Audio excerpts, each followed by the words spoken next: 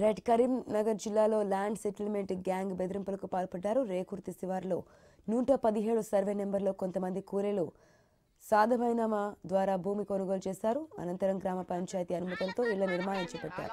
అయితే ఇదే సర్వే నెంబర్లో పన్నెండు గుంటల భూమి తమదే అంటే ఓ వర్గం ల్యాండ్ సెటిల్మెంట్ గ్యాంగ్ రంగంలోకి తిప్పింది. కష్టపడి ఇల్లు నిర్మించుకుంటున్నామని ప్రాధాయపడుతున్నా కనికరం లేకుండా గడ్డపారలతో ఇంటి నిర్మాణాన్ని కూల్చివేశారు. దీంతో బాధితులు తమకు న్యాయం చేయాలంటూ ఆవేదన వ్యక్తం చేస్తున్నారు.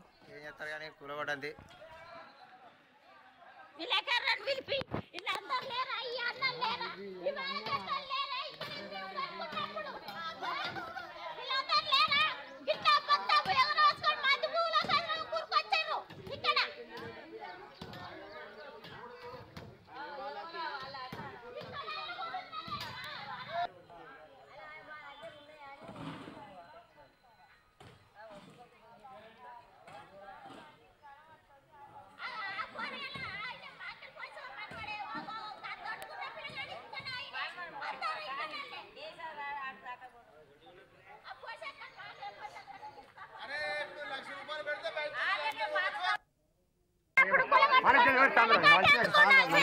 అది రారు? అరే వాళ్ళు వాళ్ళు వాళ్ళు రారు. మన మనం మనదే మనం అడుక్కున్నాం.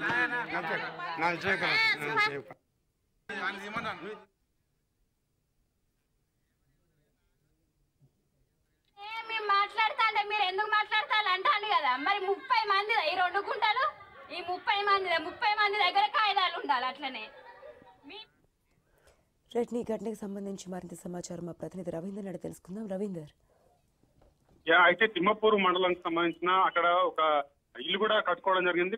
కొట్టుకున్న అనంతరము కొంతమంది వర్గాలుగా ఏర్పడి అక్కడ సెటిల్మెంట్లు చేస్తూ ఈ జాగా మాదే అంటూ ఒకవైపు ఆ ఇల్లును కూడా కూలగొట్టే విధంగా చాలా వరకు అక్కడికి వెళ్ళడం జరిగింది. అయితే అక్కడ ఉన్న కాలనీ వాసులు కూడా ఎంతవరకు మా ఇల్లును కూలగొట్టద్దు అది మేము మా సొంతంగా కట్టుకున్నాం మా ల్యాండ్లో మేము కట్టుకున్నాం అని వాళ్ళు ఎంత నివారించే ప్రయత్నం చేసినప్పటికీ కూడా ఒకవైపు అక్కడ వచ్చిన ఈ సెటిల్మెంట్ గ్యాంగ్ అంటే అక్కడ మొత్తం ఆ ప్రాంతం అంతా కూడా ఒకవైపు రియల్ ఎస్టేట్ ఏరియాలు కూడా జరుగుతున్నాయి. ఆ రియల్ ఎస్టేట్ జరుగుతున్న సమయంలో ఎక్కడ ల్యాండ్ ఉంటే అక్కడ కబ్జా చేస్తూ వాళ్ళు వీరంగం సృష్టిస్తున్న పరిస్థితి కనబడుతున్నాయి. పోలీసులు మాత్రం దీనిపైన దృష్టి సారిస్తున్నాం అని అంటున్నారు. కానీ ఇప్పటికు ఎటువంటి దృష్టి సారించకపోవడంతో ఇటువంటి అమాయకుల పైన వాళ్ళు దాడులు చేస్తూ ఒకవైపు ఇల్లును కట్టుకున్న ఇల్లును కూడా గడ్డాపరలతోటి మొత్తం కూలగొట్టిన పరిస్థితి మనం ఆ విజువల్స్లో చూడవచ్చు. వాళ్ళు కూడా నివారించే ప్రయత్నం చేశారు. అయినా కానీ ఇంతకు వినకుండా ఆ ఇల్లును మొత్తం కూడా కూల్చివేసిన పరిస్థితి అయితే కనబడుతుందనే చెప్పవచ్చు. ఇదే విధంగా సెటిల్మెంట్ల పేరిట ఒకళ్ళ ఇల్లు నుంచి ఒకళ్ళది జాగా అంటూ వాళ్ళు కబ్జా చేస్తూ ఈ విధంగా అక్కడ కబ్జా రాయల్లో ఆగడాలు అయితే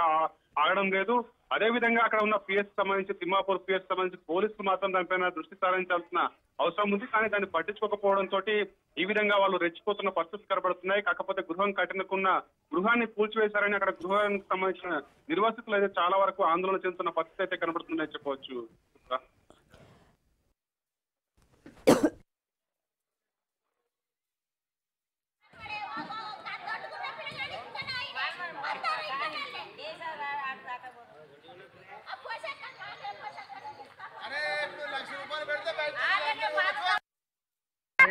కూలగొట్టండి